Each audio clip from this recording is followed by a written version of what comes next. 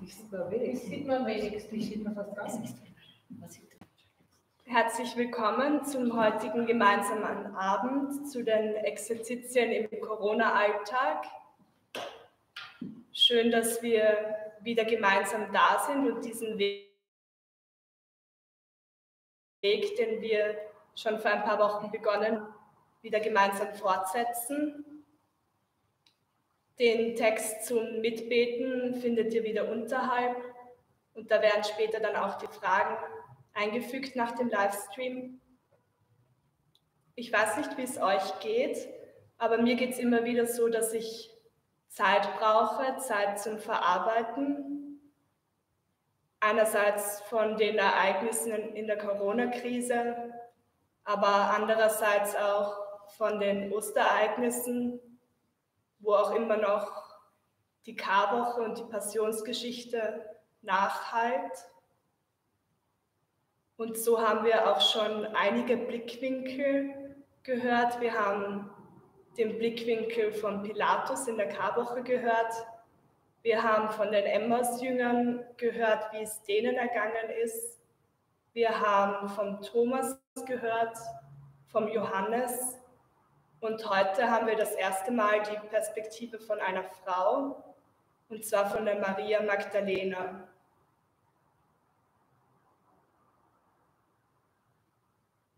Lasst uns gemeinsam beginnen im Namen des Vaters und des Sohnes und des Heiligen Geistes. Amen.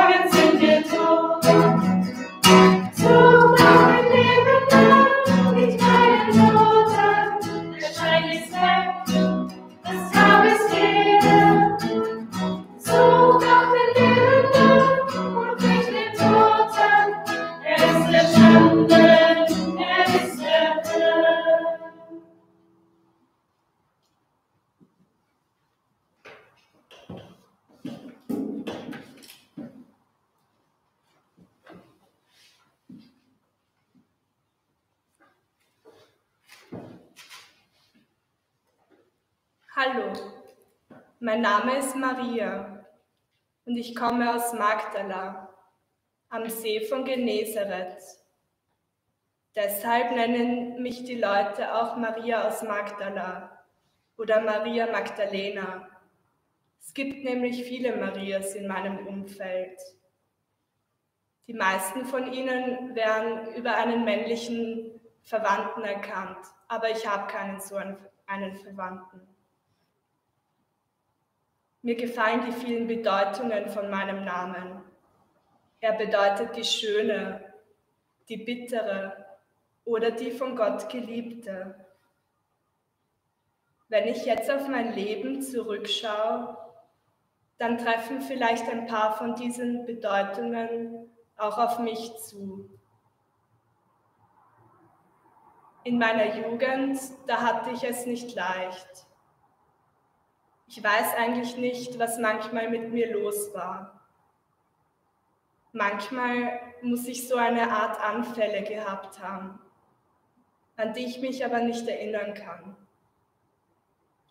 Die Leute haben immer Abstand von mir gehalten und mir Dinge nachgerufen und gesagt, ich bin von Dämonen besessen. Ich wollte nicht so sein aber ich konnte nichts tun. Es half nichts. Eines Tages, da ist ein Mann zu uns gekommen in unser Dorf. Sein Name war Jesus. Er ist ein paar Tage bei uns geblieben und hat gepredigt. Meistens haben ihm Männer zugehört, aber auch Frauen. Ich habe das aus der Ferne beobachtet, weil ich mich nicht herangetraut habe, weil ich Angst hatte, dass die Leute mich bemerken könnten und gehen könnten und er dann aufhört zu predigen. Einmal hat er mich bemerkt. Er ist zu mir gekommen und hat mich berührt. In diesem Moment habe ich gespürt, dass sich in mir was verändert hat. Aber richtig formulieren, was es war, das konnte ich eigentlich erst am nächsten Tag. Die Leute haben nämlich aufgehört, einen so großen Bogen um mich zu machen. Und die Anfälle haben auch aufgehört. Dieser Jesus hat mich geheilt.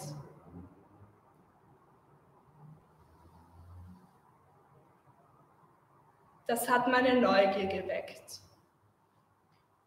Als Jesus aufbrechen wollte und weiterziehen, da wollte ich mit ihm mitgehen.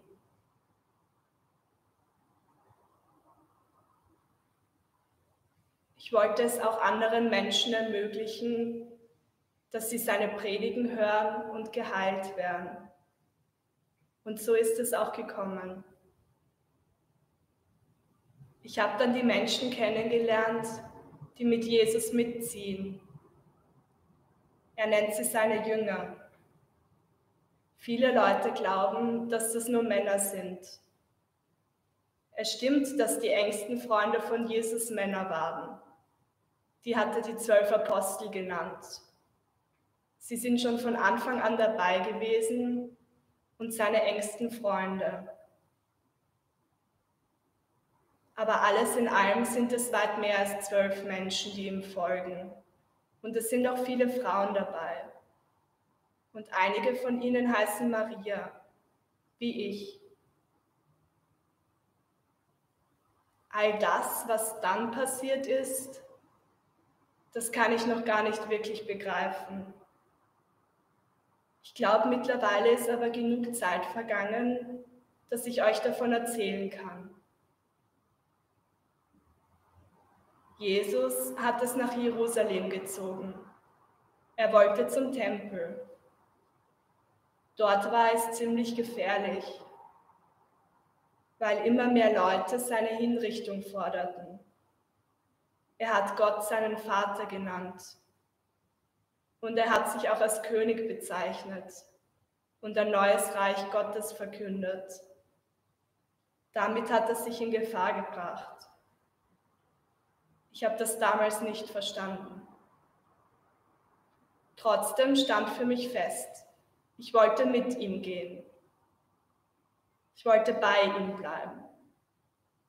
Was sollte ich auch sonst tun? Die anderen Jüngerinnen und Jünger sind zu meiner Familie geworden. Eine andere Familie hatte ich nicht mehr.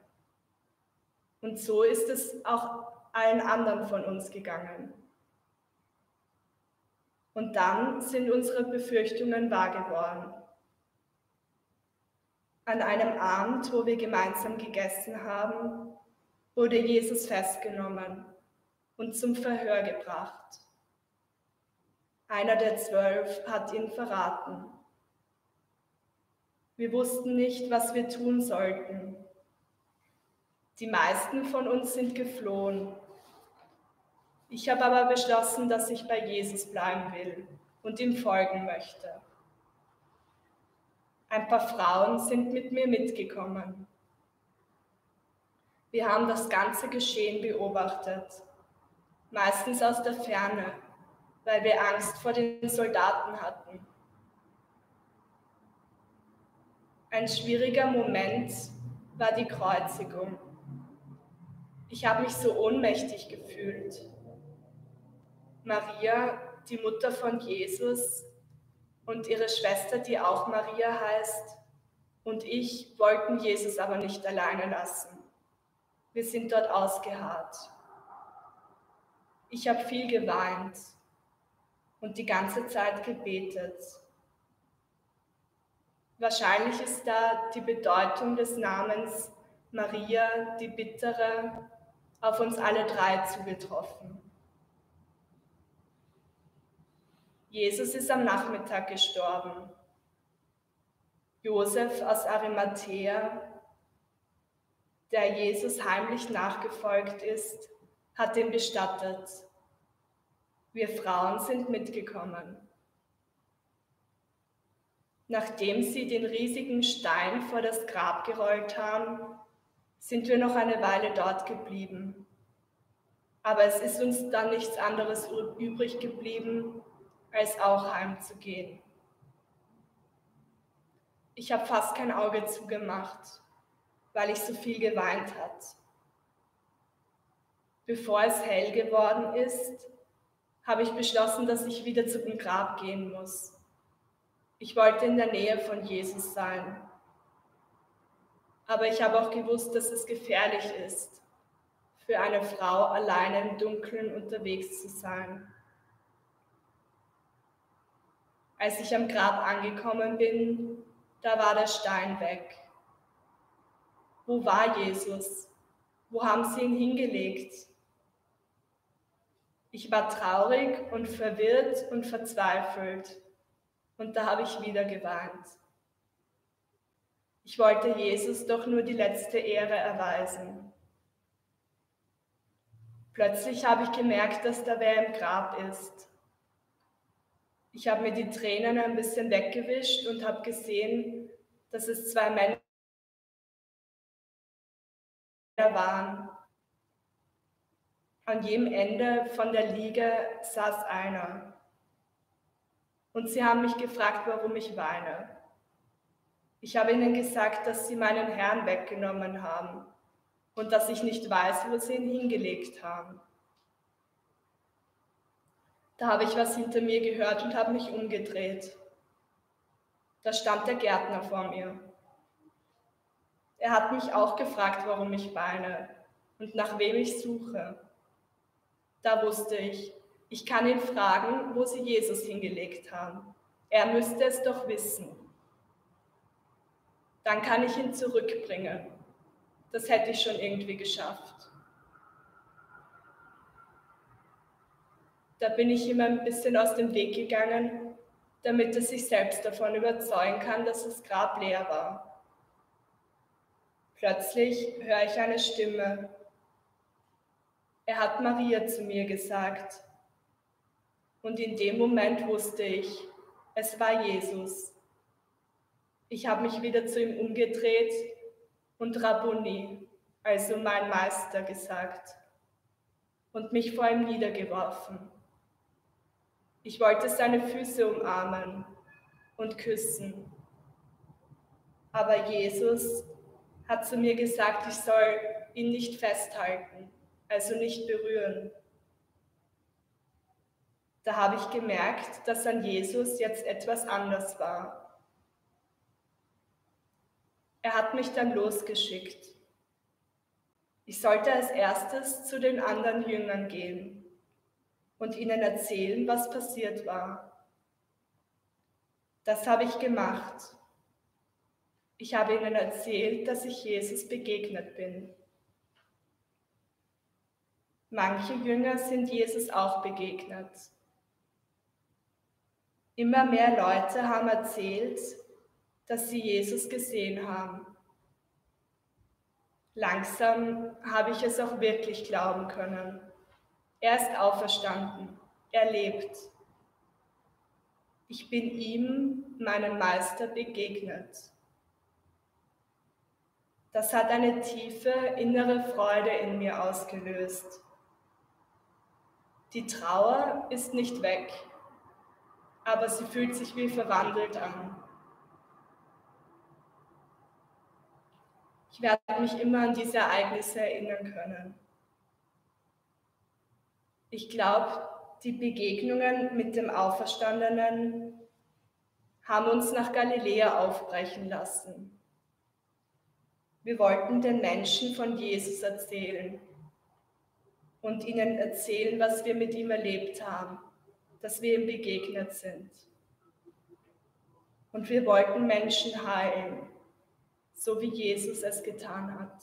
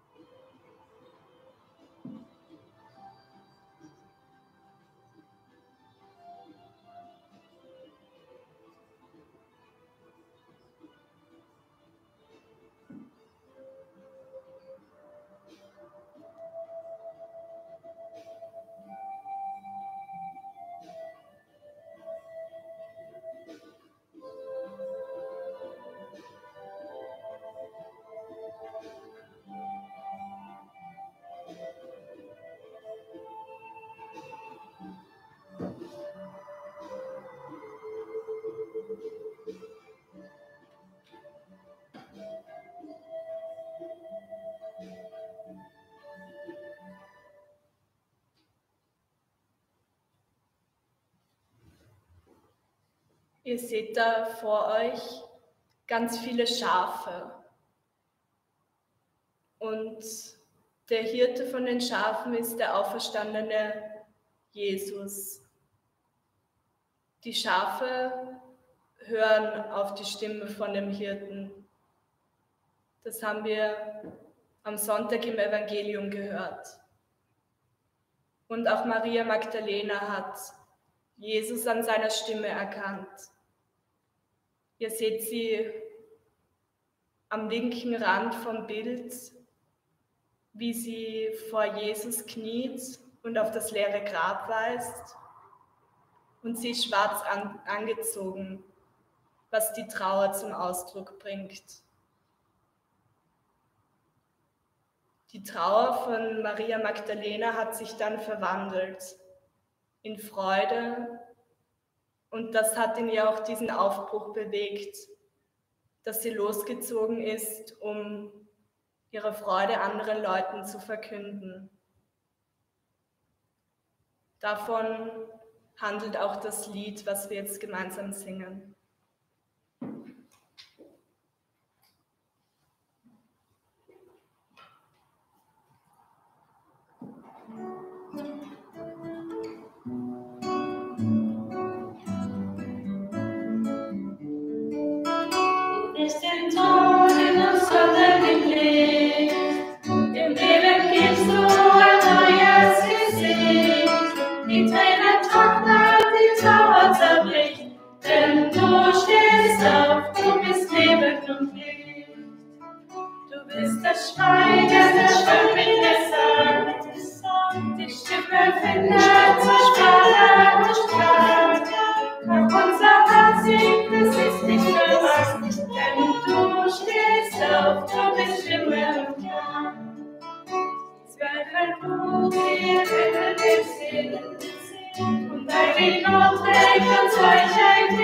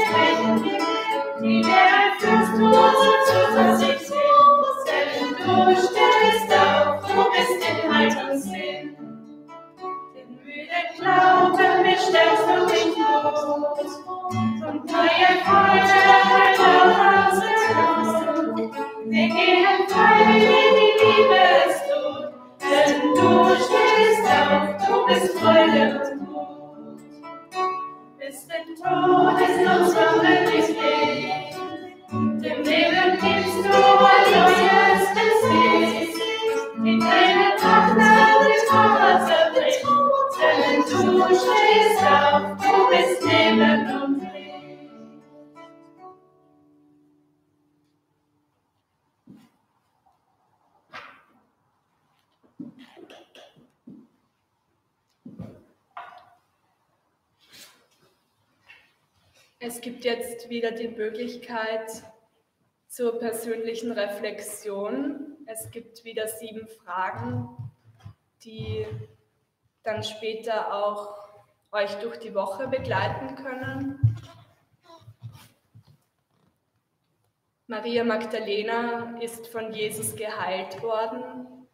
Es heißt, dass Jesus aus ihr sieben Dämonen ausgetrieben hat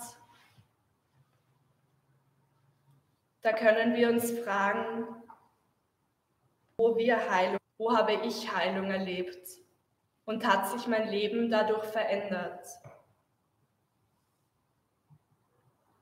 Wo habe ich Heilung erlebt? Hat sich mein Leben dadurch verändert?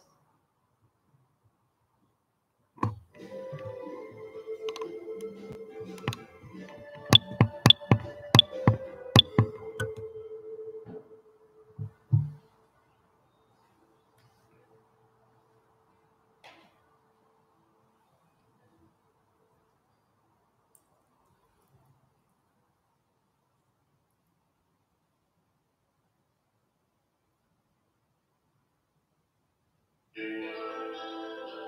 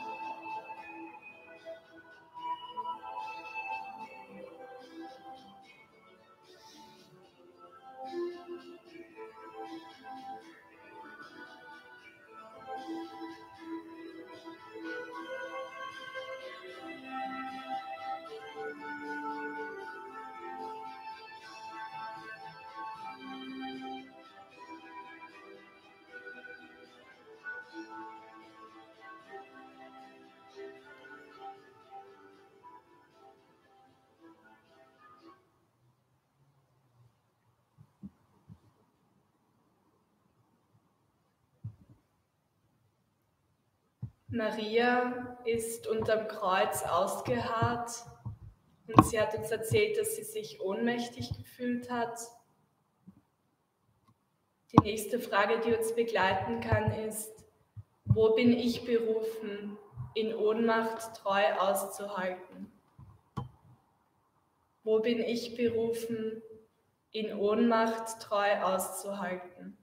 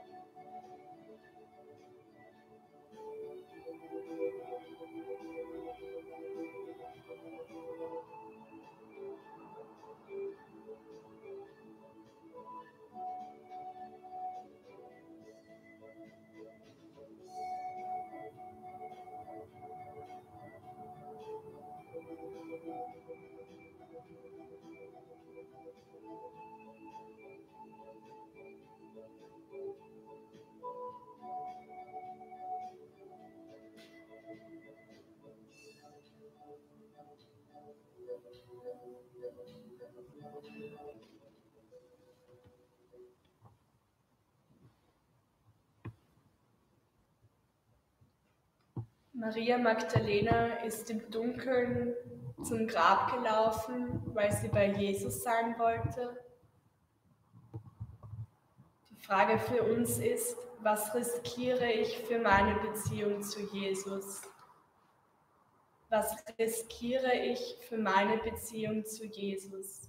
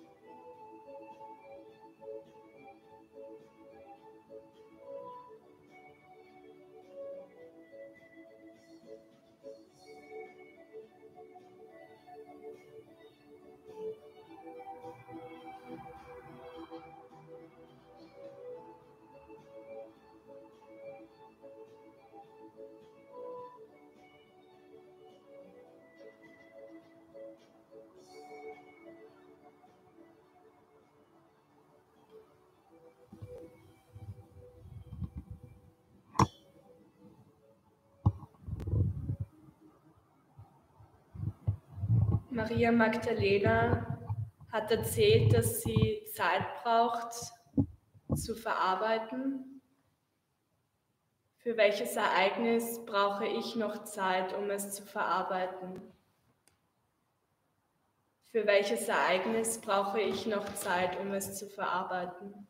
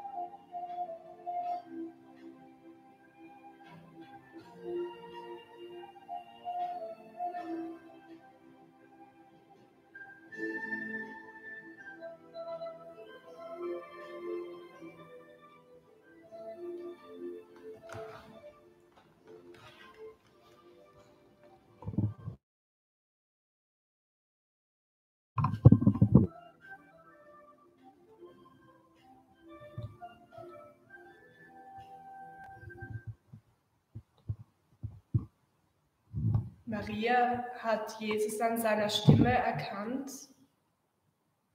Wo ist mir? Ist mir die Stimme, die Stimme Gottes vertraut und wo vernehme ich sie? Ist mir die Stimme Gottes vertraut und wo vernehme ich sie?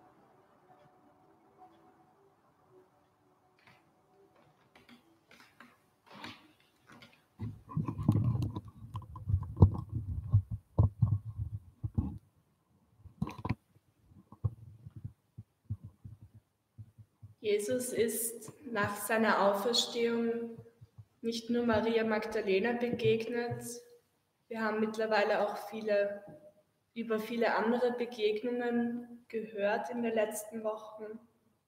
Die Frage für uns ist, wo begegnet mir Jesus im Alltag? Ich zurück. Wo begegnet mir Jesus im Alltag?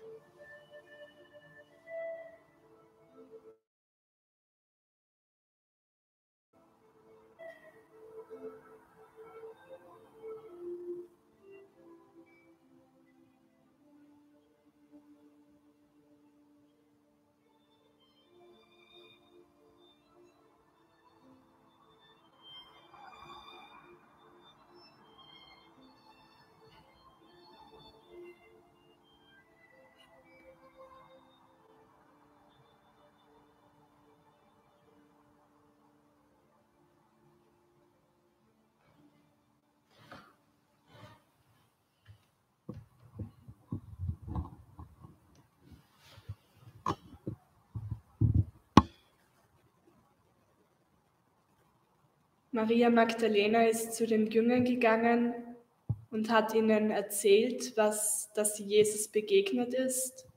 Und auch die Jünger sind aufgebrochen und haben anderen Menschen von ihren Begegnungen mit Jesus erzählt und ihnen von Jesus erzählt.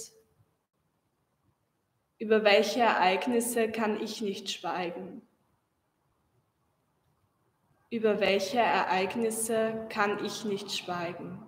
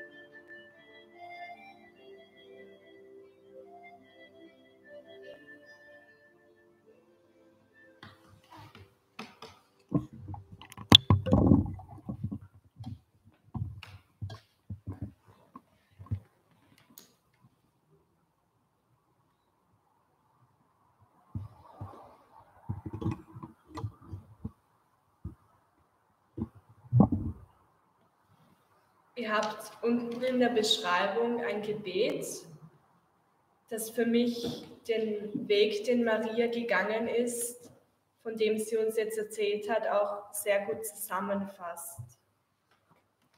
Wir beten es gemeinsam.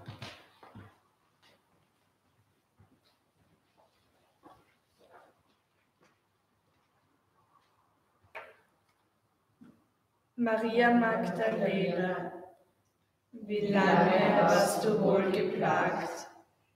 Von Mächten, die du nicht in den Griff bekommen konntest, Krankheit, die dich an den Rand der Gesellschaft drängte, bis du endlich jemandem begegnet bist, der dich ganz sein ließ und dich heilen konnte an Leib und Seele. Wie anders war nun alles. Du hättest zurückkehren können zur Normalität des Lebens. Aber du entschließt dich anders. Ihm bist du gefolgt mit allem, was du hattest. Du hast Wunder über Wunder erlebt, seiner revolutionären Botschaft der Liebe gelauscht. Und seine achtungsvolle Zuwendung erfahren, bis das Entsetzliche eintraf und sein Meister durch die Wut und den Hass der Mächtigen ausgelöscht werden sollte. Ohnmächtig trägst du in ihm all deine enttäuschten Hoffnungen ans Kreuz und ins Grab. Aber nicht einmal dort darf all deine Verzweiflung ruhen, sondern scheint wie gestohlen. Das Grab ist leer, noch leerer als du selbst es bist. Sich aufbäumendes Suchen beginnt nach dem, der dem verlorenen Traum seine Existenzberechtigung gegeben hatte. Bis du mit deinem Namen zurückgeholt wirst in das Jetzt. Du wirst liebend erkannt und gebeten loszulassen, was du nur für dich festhalten möchtest. So wirst du frei und zur Botin für alle. Der Herr lebt. Ich bin ihm begegnet. Es ist wahr. Nichts war umsonst. Nichts ist vergeblich.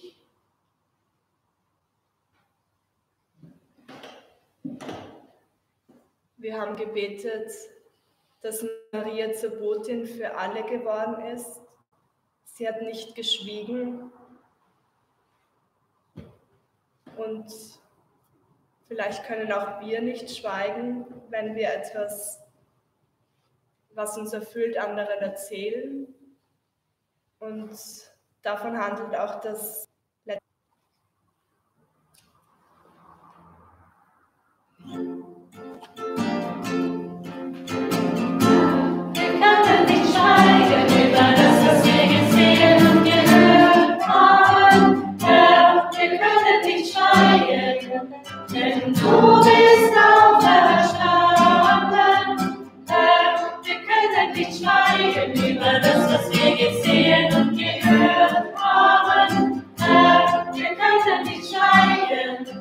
wir